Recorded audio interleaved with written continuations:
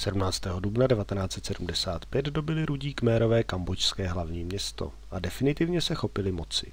Začal jejich nelidský experiment na lidech, charakterizovaný bezohledným vnucováním jednostranných a šílených odpovědí na otázky fungování společnosti. Vedla je přitom směsice ideologie marxismu-leninismu, vypjatého nacionalismu a lokálních tradic. A své změny chtěli provést hned, teď a tady. V letech 1975 až 1979 tak nastolili jeden z nejbrutálnějších režimů dějin. Městského člověka vykázali zpět na venkov a nutili ke středověkému způsobu života. A to podle velmi vychýlených hodnot. Cena za jejich sociální inženýrství byla děsivá.